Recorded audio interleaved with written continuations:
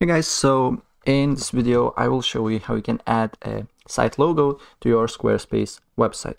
It's really fast and easy and straightforward, so without further ado let's get started. So of course the first step what you need to do here, you need to go to squarespace.com and log into your account if you haven't already and then select the website that you want to add, where you want to add your logo and then you should see similar window here like I'm seeing right now. Uh, and then the next step what you need to do here is you need to press on this edit button that is on this main block on the left side.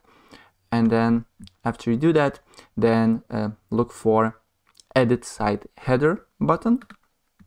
And then as you can see here the first option is logo and select site title and logo.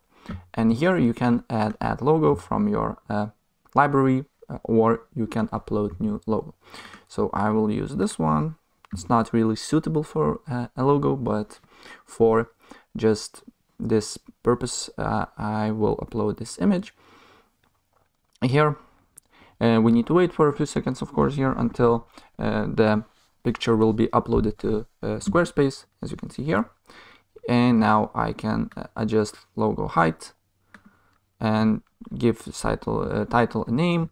And also, as you can see here, you can select the style and positions and do bunch of different things, right? So that's how we can add a logo to Squarespace. So if I help you out, please press like button and subscribe for more. Take care. Bye.